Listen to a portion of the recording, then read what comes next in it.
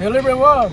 Is my primer. Please subscribe, like and share, the post notification bell, update every day new videos as streaming to Sir God. Thank you so much, Song.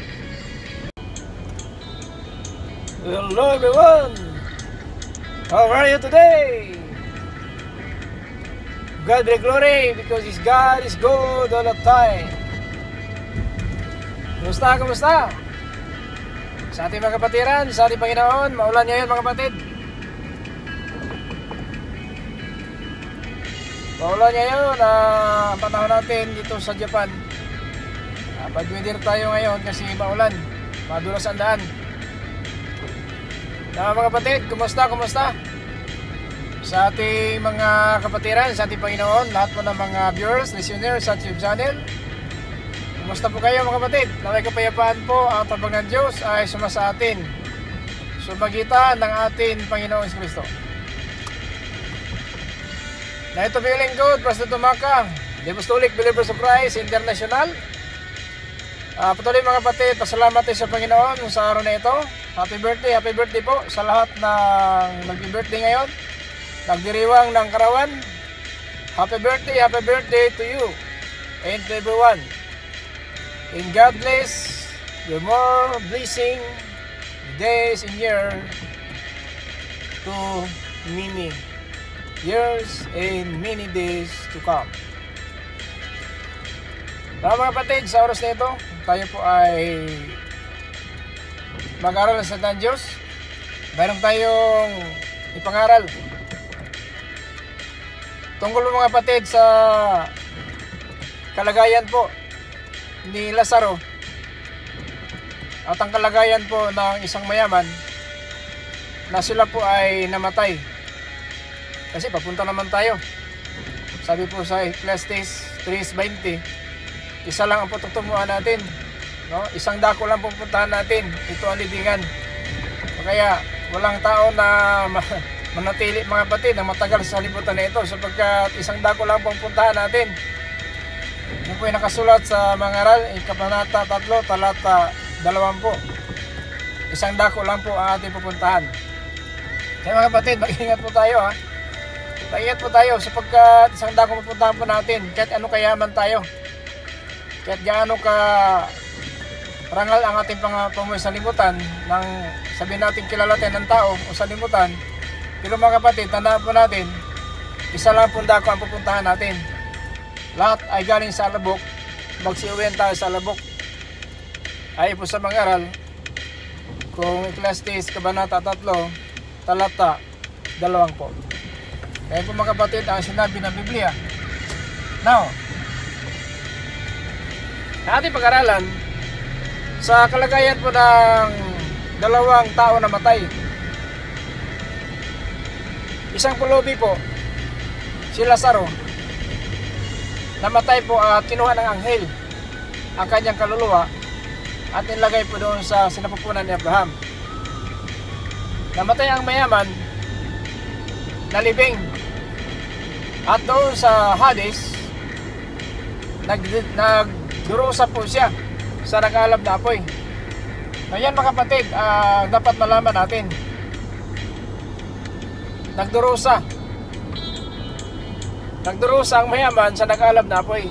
Ayan mga kapatid, ang sinabi Biblia sa Lucas 16:22. Now sa 23, napagyahat ng mayaman ng kanyang kaluluwa, nakita nila si Abraham, si Lazaro doon sa kabilang dako. Na paraiso ng kaluluwa at ang tinatawag na Hades kung nag-alab na apoy, magkatabi lang po. Kasi isa lang ang dadaanan ng kaluluwa pag namatay ang tao. Isa lang po ang salimutan ng kaluluwa doon sa perceiving sa ilalim ng lupa. Dito ang kaluluwa ngayon, kaya mamatay ang tao ilibing sapagkat yun ang daigdig nila, ilalim ng lupa. So yan mga kapatid, daigdig ng mga patay, ang sabi ng Biblia, daigdig ng mga patay. Kaya pag namatay ang tao, nalibing talaga. Yun po ang isang palatandaan na pag namatay ang tao, ang kanilang kaluluwa papunta doon sa daigdig mga patay. Pero pagdating ng Kristo mga kapatid, iba na po ang direksyon. Iba na po. Dalawa na po ang puntahan ng kaluluwa pag namatay ang mga tao dito ngayon sa libutan. pag ikaw ay isang Christian, ikaw po ay lingkod ng Panginoon, hindi na po tayo ihulog to sa digdi mga patay sapagkat uh, makasama lang sa muling pagkabuhay yung galing sa langit. Kaya pag namatay po tayo na lingkod ng Panginoon, mga manampalataya sa Panginoon na maging masunurin, tumutupad po ng kanyang salita, ang direksyon natin doon na po sa dambana ng Diyos. Yan po sinasabi ni Apostol Pablo in the 2 Timothy chapter 4 in verse 6 up to 8. Ang sabi ng Apostol Pablo, Mistulan na ako ihandog sa dambana ng Diyos. Dambana ng Diyos. Ang dambana ng Diyos wala sa lupa. Ang dambana ng Diyos nandoon po sa kanyang kaharian. Kasi ang nabana ng Diyos dito sa lupa, mga kapatid, gawa ni Moises, hindi po yan talaga ang tinutukoy. Ulad lang po yan na nasa langit. No? Yun lang po ang isang larawan sa langit na may dambana sa langit.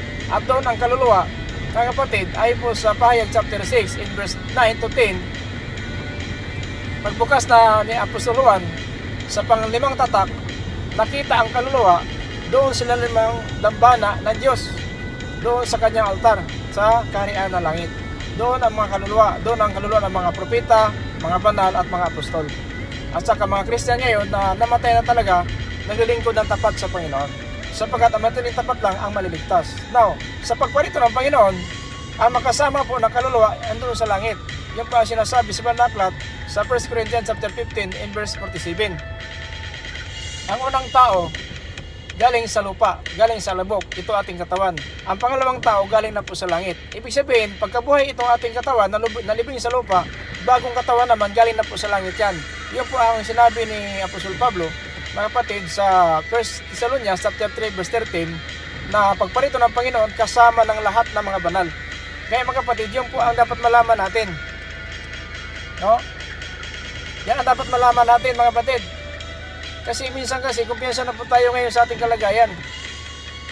Dapat alam po natin na pag namatay po tayo, i-secure natin ating kaluluwa papunta po sa dambana ng Diyos. Hindi po sa mga patay. Sapagkat sa daigdig na mga patay, walang kasiguruan doon. Pag nakapunta ka kasi sa daigdig na mga patay, apat po ang direksyon doon. No? Pag doon sa lima patay, hindi mo alam talaga maparaiso ka. Kasi pag doon ang punta mo sa lima patay, ayon lang po sa iyong gawa ang hatol sa iyo.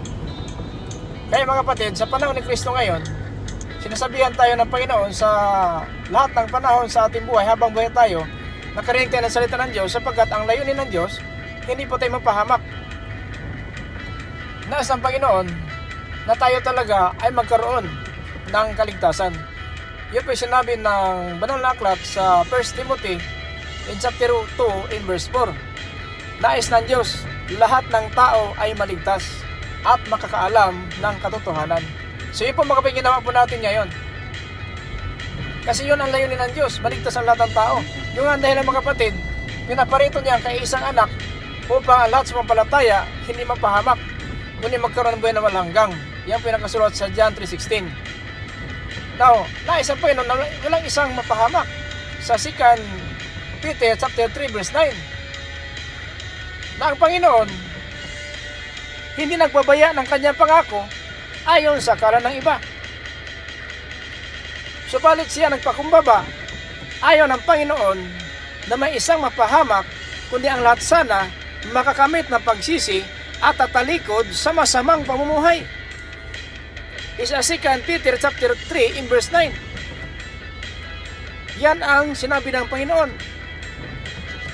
Pero ang sabi ng Apostol Pablo sa Roman in chapter 2 verse 4 up to 5, hinahamak mo ba ang kabutihan ng Diyos? Hinahamak mo ba ang pagpakumbaba ng Diyos? Hinahamak mo ba ang pagtitiis ng Diyos? Hindi mo ba alam na ang pagtitiis ng Diyos ay nag-akay sa atin ng pagsisi? Sa verse 5, Subalit sa katigasan na ating puso at isipan, nag-ipon tayo ng puot. Nag-ipon tayo ng buot sa arigagawan ng Diyos ang mahatol, ang maganda at matuwid na hatol.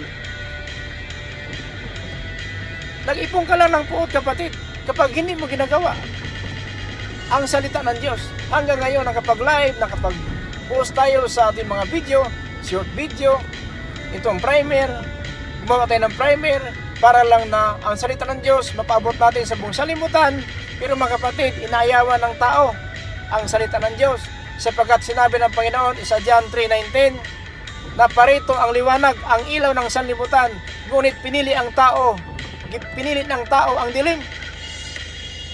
Pinili ng tao ang dilim sapagkat masama ang kalang gawa. Kapag masama ang gawa natin, dilim ang pinipili natin. Yun po sinabi ng Panginoon. Na parito ang ilaw ng sanlibutan. Pero pinili ng tao ang dilim sapagkat masama ang kanilang gawa. Kapag masama ang gawa natin, dilim ang pinipili natin. Alam ba natin dilim na yan? Diskan Biblia? Madilim? Nadako? Matiyo? Kabanata? Dalawang po. Dalawang po, dalawa. Dalawang po, dalawa. Italata, mga kapatid. Talata labing tatlo. Ano sinabi ng Panginoon? At gapusin nyo ang mga paa at kamay. Gapusin ang paa at kamay at itapon nyo sa kadiliman doon sa labas ng lungsod sa dako ng kadiliman. Doon mananangis ang kanilang mga ngipin. Kapatid, mananangis ang kanilang mga ngipin. Mga kapatid, gapusin ninyo ang kamay at paa. Itapon nyo sa labas, doon sa kadiliman, upang mga, nang, mga ngagit ang kailang ngipin. Iyon po ang dinescribe ni Apostol Pedro sa 2 Peter chapter 2 verse 4. Hindi kinulugdan ng mga anghel ng kasala. Itinapon sila doon sa impyerno. Ginagapo sila sa impyerno sa kadiliman sa madilim na dako, yung palang impyerno. Ayan mga kapatid. Mag-ingat po tayo. Huwag kumpiyansa kapatid. Hindi pa huli ang lahat. Kung anong mga bagay na bigay ng Diyos sa atin, huwag mo ipuko sa mga bagay na bigay ng Diyos sa atin ang ating sarili, ating isipan. Ang puso natin minsan nakatuon sa mga kayamanan, nakatuon sa negosyo, nakatuon sa mga, sabihin natin, lupa, bahay, sasakyan, ano pa man ang bigay ng Diyos sa atin, na minsan po ito po ay hindi natin ginagamit sa mabuting paraan. Alam ng Diyos na kailangan po tayo. Alam ng Diyos na ito ang pangailangan natin. Kaya nasa po ng Panginoon na hindi po tayo matitisod. Hindi po tayo wala ng pag-asa. Dahil sa Panginoon, matuto tayo sa tamang aral, sa tamang pamuhay. Yun po ang nais ng Panginoon. Kaya huwag sayangin ang panahon mga kapatid. Huwag sayangin ang pagkataon. Sapagkat ang Panginoon patuloy ang biyaya hanggang ngayon. Ayon ang Panginoon pahamag tayo. Kaya lang, mapahamag talaga tayo kung sa ating po may sanlibutan, tayo na lang po ang nasusunod. Tayo na lang po ang gumagawa sa sariling opinion, sariling paraan. Pero ang salita ng Diyos, nagtuturo po sa atin sa tamang pamuhay upang akayin tayo sa, ma- sa mabuting uh, kalagayan. Pero tayo na po ang nasusunod kasi. Kaya mapahamak po tayo. Tama ang sinabi ng Panginoon kay Apostol Pedro. Sa bata ka pa, ikaw lang masunod kung anong gusto mo. Pero pagtanda mo na, iunat mo na yung mga kamay. At iba na magbako sa'yo. At ihatid ka na sa dako na hindi mo magustuhan. Mga kapatid, ang tema natin ngayon, ang key verse natin is uh, Lucas 16, 22-23. Namatay ang pulobi. Dinala po ng anghel doon sa pura ni Abraham. Namatay ang mayaman, nalibing, at doon sa nag-alab na apoy. Now, ang sabi niya kay Pedro, sa John 21 verse 18, Pedro, sa bata ka pa, ikaw lang masunod kung anong gusto mo. Ngunit pagtanda mo na, iunat mo na ang iyong mga kamay. Iba na ang magbako sa iyo. At ihatid ka na sa dako na hindi mo magustuhan. Mga kapatid, ang Biblia na, na papatunay ayon sa ating givers na si Lazaro nandoon sa napupunan ni Abraham itong tatawag na paraiso ng kaluluwa. At ang isang mayaman, nalibing siya doon siya nag-alab na apoy. Kaya mga kapatid, huwag tayong kumpiyansa. Sapagkat may nag-alab na apoy at mayroon naman paraiso nilanda ng Diyos sa atin. Pero mga kapatid, gusto bumuhay natin sa salimutan na ito. Kung tayo lang po ang masusunod, ihatid talaga sa dako tayo na hindi natin magustuhan. Ang mayaman ng mga makaawa kay mga Abraham ay po sa Lucas 16.27 kung ganoon ang mga Abraham papuntahin mo sila sa sa bahay ng aking ama sapagkat may pa akong kapatid na buhay upang pagsabihan sila. Baka pati sila makapunta sa dako na ito ng pagdurusa. So yun po ang sinabi ng isang mayaman ng umakawa kay amang Abraham so mga kapatid sa ating pamuhay ngayon alam ba natin minsan kasi ang tao ngayon nagsasabi pastor wala pang bumalik kahit kami maninuno, hindi pa bumalik na may impyerno, may paraiso. Ito ang Biblia nagsasabi mga kapatid. Kaya sinabi ng Biblia, sa banal na aklat, sa Hebreo 10.28, 10.28, kung may sumbong ba dito sa lupa, dapat patunayan ng dalawa tatlong saksi. At ito'y patibayan totoo. Mga kapatid, ang Biblia, tatlo pa totoo dito? Ang Ama, ang Anak, at ang mga apostol nagsulat dito mga propeta. Kaya wala tayong kapangulipas sa araw ng hatol. Tatlo ng patotoo. Ang ama, nagbigay ng salita sa anak. Ang anak nagsalita. Ang mga apostol nagsusulat dito. Ang mga propeta. Wala tayong kapangulipas. Dalawang tatlong saksi. Napatunayan dito sa lupa. Kailangan si hatulan ayon po sa pagpatunay. Kaya mga kapatid, mabigat na parusa ang pastangan ng Espiritu Santo. Sapagkat hindi isa lang ang nagpapatunay dito. Hindi ang Diyos lang, pati ang anak, at ang mga apostol at ang mga propeta. Dapat alam po natin ito mga kapatid. Mabigat na parusa. Tama sinabi ng Panginoon Kristo sa Mateo 12.31. Lahat ng kasalanan ng tao mapatawad. Pero ang pastangan ng Espiritu Santo, hindi sila mapatawad. Sa 32, mapatawad ang pastangan ng tao kahit sa itaas sa cross, dinuraan siya sinampal, pero hindi mapatawad ang pastangan ng Espiritu Santo magmula ngayon hanggang sa darating na panahon. Kahit sa pangalawang buhay kapatid, dadalhin natin ang parusa na yan kapag lapastanganin natin ng Espiritu Santo, itong salita ng Diyos. Kaya napakinggan natin ngayon mga kapatid, palagaan naman natin palagaan naman natin salita ng Diyos kasi mabigat na parusa magmula ngayon hanggang sa pangalawang buhay. Ang napastangan ng Espiritu Santo, itong nakikinig lang, walang ginagawa, nakikinig walang ginagawa. Pero kung gawin natin na pakinggan pagpapalain po tayo. Sapagkat ang sinabi sa pahayag chapter 1 verse 3 mapalad ang bumabasa ng hula ng propesya sa aklat nakikinig at gumagawa sapagkat malapit na ang panahon. Mapalad talaga. Pero paano tayo pagpapalain? Kung nakinig lang tayo wala tayong ginagawa ay po sa Roma 2.13 sapagkat ang pumapala nasa gumagawa hindi sa nakikinig eh mga kapatid, gawin na po natin. Gawin na po natin ang ating napakinggan. Huwag natin hayaan, abutan tayo ng kamatayan na ganun pa rin ang ugali natin, walang pagbabago. Magbagong buhay na po tayo kapatid. Hindi pa uli ang lahat.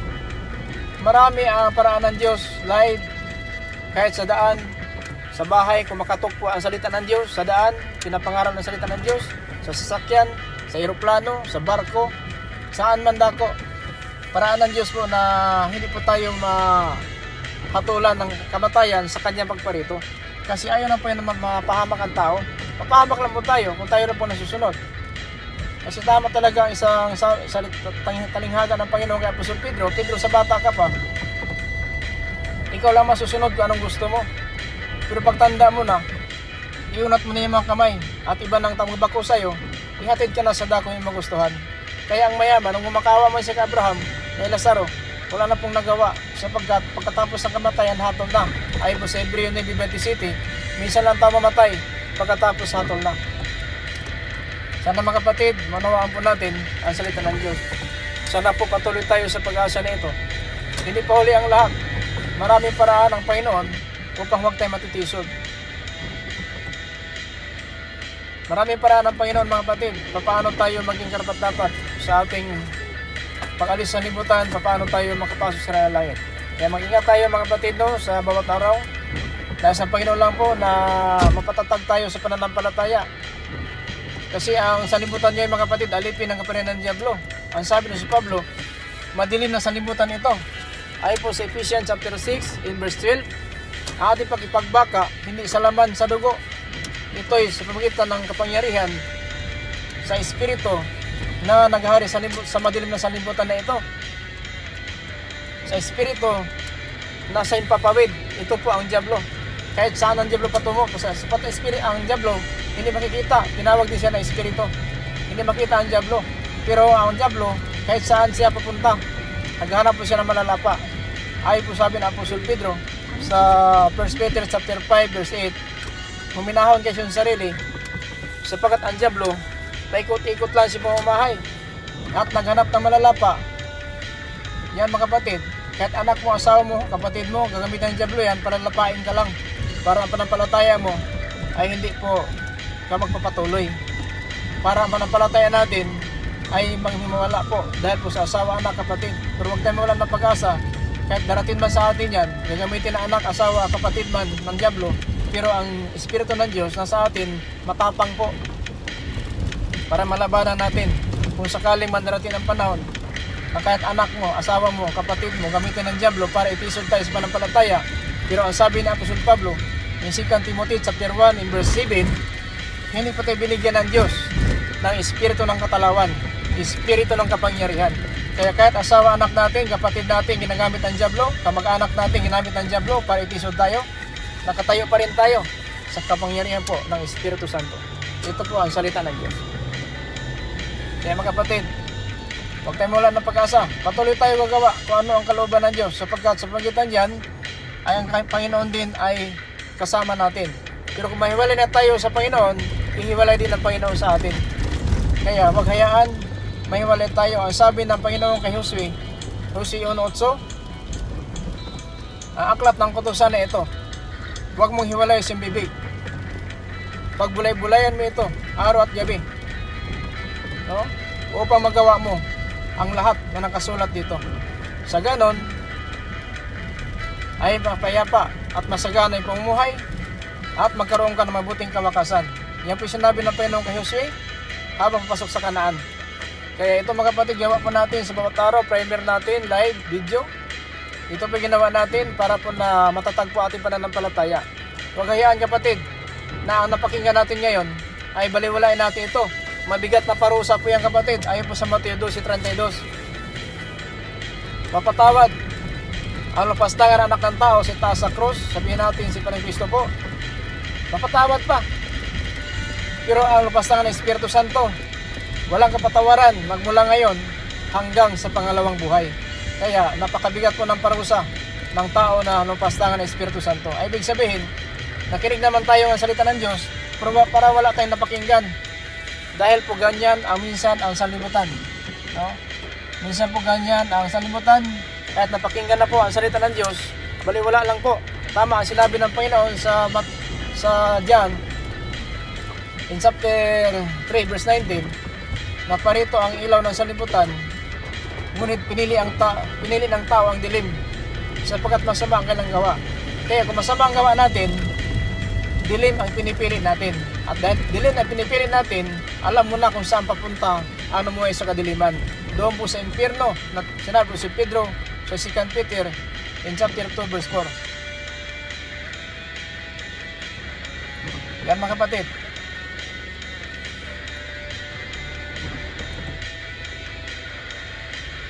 Ang impyerno na yan, yun po ang madilim na dako na nakalagyan yan ng mga anghel na kakulong na nakipaglabang kay Miguel.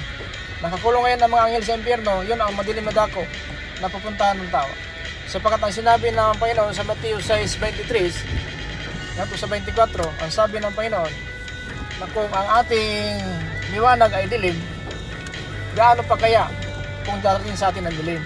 Kung sa ating buhay, pangamuhay ngayon, madilim na po ating mamuhay, ano pa kaya kung mamatay na tayo? Mas lalo madilim ang ating pupuntahan. Yun ang po ang impyerno.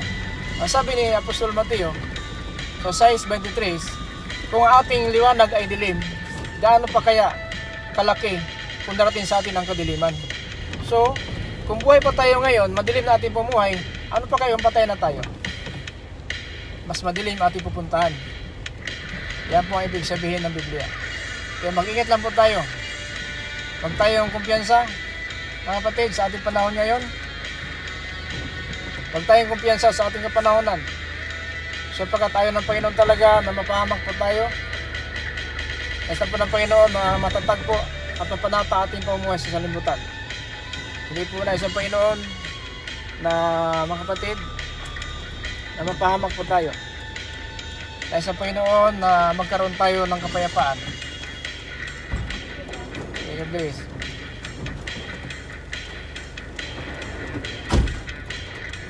Dahil sa Panginoon, magkaroon tayo ng kapayapaan. At lalo na po sa buwan na na inaasahan po natin kung umasa kayo. Kung hindi kayo maasa, paano? Kaya wala kayong pagsisikap tungkol ang kaharian sapagkat ko umasa ng buwan na walang hanggang. Pero kung umasa ng buwan na walang hanggang, talagang nagsikap po tayo ano ang salita ng Diyos. Sapagkat sa salita ng Diyos, dito po tayo nagkaisa po sa buwan ng walang hanggang. Hindi sa reliyon. Anong reliyon mo ngayon reliyon? Kung lang tayo may reliyon. Pero wag natin ipangaral ang reliyon na ito ang tama. Kasi ang reliyon natin, title lang po yan ang ating samahan para makilala tayo sa limutan na legal po ating samahan nakarehistro sa SIC. Kasi hindi ka makarehistro sa SIC, wala kang reliyon. Hindi ka makarehistro sa SIC, sabihin punta ka, punta ka sa SIC. Sabihin mo, magparehistro ako sir. Ang tanong ng SIC, anong reliyon mo sir? Wala. Ah, hindi ka marehistro. Hindi ka marehistro kung sabihin mo wala. Sabi mo, ah, katoliko ako, apostolik ako, ah, marehistro ka talaga sagat, sapagkat may pangalan. Pero kung walang pangalan, hindi ka marehistro talaga, kaya may reliyon. Pero hindi sinabi dahil may reliyon, kaligtas ka na. Sapagkat na reliyon, ito po ang basihan lamang na napakilala sa salibutan natin samahan, ito illegal. Rehistrado tayo sa SIC, mga kapatid, Apostolic Believers of Christ, rehistrado tayo sa SIC, para ating ating samahan legal para ang mga tao ay makakaalam sila na hindi po tayo nangaral na wala tayong pahintulot ng gobyerno sa lupa. Sapagkat ang sinabi sa Roma 13, puno nga to sa 2, dapat mapasakop tayo sa panggamaha, panggobyerno sa lupa. Kaya rehistrado tayo sa SIP. Kaya ang kaligtasan mga kapatid, nasa ating gawa. Hindi po sa relihiyon. Kaya ang aral ng Diyos, huwag natin hayaan na baliwalain.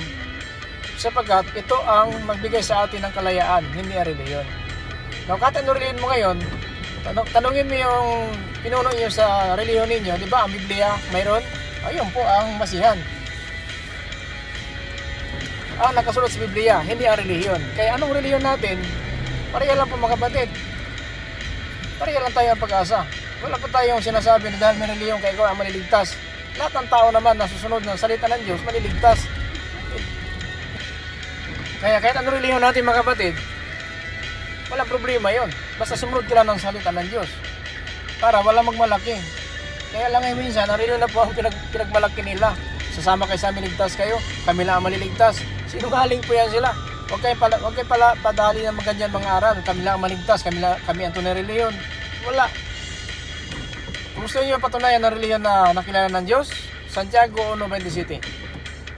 Ito ang sinabi ni Apo Santiago. Sapagkat ang relihiyon, dalisay, walang dungi sa harapan ng Diyos Ama, itong dumadalo ng ulila.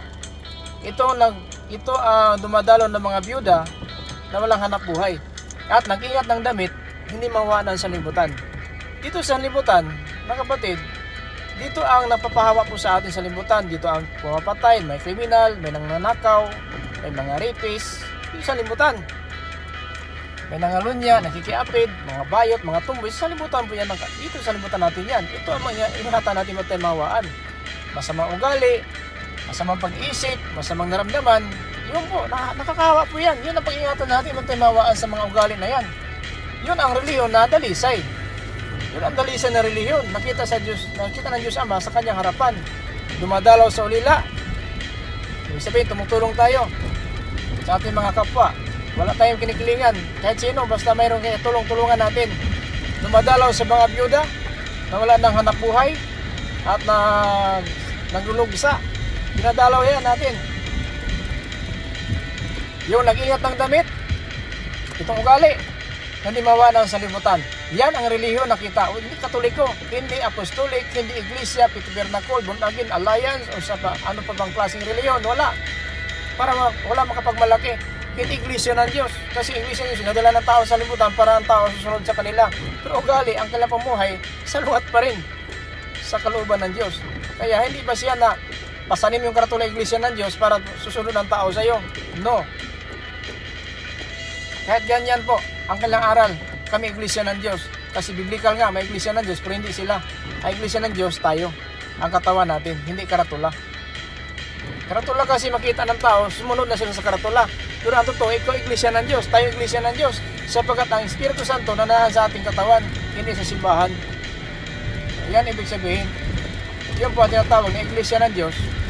Tayo po yan na sumusunod ng kalooban ng Diyos, tinatawag mga iglesia ng Diyos. Kasi ang loob ng iglesia mga kapatid, sa simbahan, doon po nagkakaisa po ang mga anak ng Diyos. Nagkakaisa pagpupuri, salamat. Yan mga kapatid.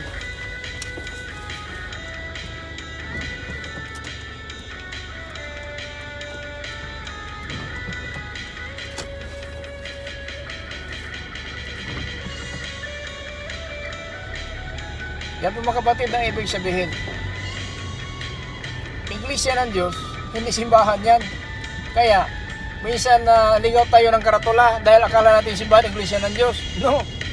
Tayo ang templo ng Espiritu Santo. Ayon po sa 1 Corinthians in chapter 3 in verse 16. Hindi ba nyo alam? Yan yung katawan, templo ng Espiritu Santo. Ang ating katawan, templo ng Espiritu Santo. Ito ang tinutukoy na iglesia ng Diyos. Hindi simbahan. Bakit yung simbahan may iligtas? Hindi po. Yung simbahan magtuturo? Hindi po. Ang Diyos ang tuturo sa atin. Kaya tayo ang binalay ng Diyos. Sabi po sa 1 Corinthians chapter 6 in verse 15, tayo ang katawan ni Kristo. Tayo ang kabahagi ng katawan ni Kristo. Binalay. Itong kabahagi, itong ating katawang kabahagi ng katawan ni Kristo. Ito ang tinatawag na iglesia ng Diyos. Hindi simbahan. Kaya sa araw lang po tayo naligtas, hindi po tayo ligtas sa karatula. No? Tandaan po natin yan, ang reliyon dalisay, walang Diyos harapan Diyos Ama, itong dumadalo ng ulila, tumutulong sa mga byuda na wala nang hanap buhay. Kaya ito ating bylaws, tumutulong po tayo sa mga byuda na walang hanap buhay. At saka nag-ingat ng damit, hindi mawanan sa libutan. Ang damit natin, ito ugali, ay po sa Mateo 15, 19, 20. Nanggaling sa puso ang pumata sa sarili, pagpatay, pangalunya, pakikiapid, oh, paninirang puri. Ito po ang nagpapahawa sa atin. Ito po nagpapahawa sa atin sa harapan ng Diyos. Ang ugali na yan. Kaya mag-ingat po tayo. Yan pala ang nagpapahawa sa atin. Yan pala ang nagpapahawa sa atin sa harapan ng Diyos. Ang ugali natin, pagmamata sa sarili, pagpatay, pangalunya, pakiapid, pagsaksi na walang katotohanan, at paninirang puri. Yun po ang papahawa sa atin sa verse 20 sa Mateo 15.20 ito ang nagpapahawa sa atin sa harapan ng Diyos. Ang ugali ng tao na mumataas, pumapatay ng alunya, nakiapid, nagsaksi ng walang katotohanan, at nilang puri. Ito ang nagpapahawa sa atin sa harapan ng Diyos. Tama sinabi ni Santiago, at relihiyon na dalisay walang dungi sa harapan ng Diyos, yung nag-ingat ng damit, hindi mahawaan ng sanlibutan. O yan mga batid, ang sigurado. Dapat alam po natin yan. Hindi kareliyon nating pinagmalaki ating sariling kar karunungan, sarili natin na sabihin natin kakayahan, hindi po kalooban ng Diyos. Hindi po yan ang secure tayo sa kaligtasan. Hindi po. Secure tayo ng kaligtasan sa pamagitan po ng salita ng Diyos. Yan pa kapatid na pinakamalaga. Pakayaan na matisod tayo dahil po sa ating sarili na ugali. Nang mataas na po tayo sarili, nagpapahawa, nagpapahawa po yan. Kasi kung mataas sa sarili, hindi mo tatanggapin ang aral ng Diyos sapagkat pinamataas mo na ang sarili mo. Tanggapin natin ang katotohanan. Marami pa tayong pagkukulang. Marami pa tayong dapat malaman na salita ng Diyos upang na matuto tayo sa tamang aral at magpatuloy tayo sa ating pananampalataya. Sana mga kapatid, huwag natin hayaan na itong salita ng Diyos na ating napakinggan sapagkat ang isang pulubi at saka si Las si Lazaro at saka sa isang mayaman na namatay po sila mga kapatid meron talagang dalawang dako na napupuntahan si Lazaro sa sinapupunan ni Abraham sa paraiso ng kaluluwa at ang mayaman doon siya sa Hades nag-aalab na po So sana mga kapatid, maunawaan po natin ating aral. Maraming salamat po sa inyong walang sawang suporta. Mag-like and share lang po tayo, subscribe sa ating channel. Ito po ay salita ng Diyos para po sa kabuti natin. Tandaan po natin, wala po tayong reliyon na sinisira, wala po tayo pinagmalagay sa ating sarili. Ito biblika lang po, literal na mabasa, literal at biblical para po manampalataya po tayo. So po mga kapatid, salamat talaga. Salamat talaga sa walang pagsawang support. Like and share lang po. Mga kapatid, like and share lang po salita po ng Diyos. Huwag kayong madamot ng salita ng Diyos sapagkat kung madamot tayo, wala tayong bahagi sa kanilang langit. Kapag nagsishare po tayo sa salita ng Diyos, ang Panginoon din magsishare ng kanyang pagpupala, hindi sa lupa lang, hanggang sa pangulang buhay, pagpupalain tayo ng Panginoon. Maraming salamat po. Ito po yung link ko sa Tumaka, the Apostolic Bible of Christ International. Magsabi sa bawat isa, the grace of Jesus Christ be with us. Amen, kami. Bye-bye po, bye-bye po. I love you all, I love you all. Yan po mga kapatid, ang primer natin. Salamat po sa walang sawang suporta. Like and share lang po, subscribe. And don't forget to post the picture of the updated video sa streaming. Thank you so much. God bless all. And bye-bye.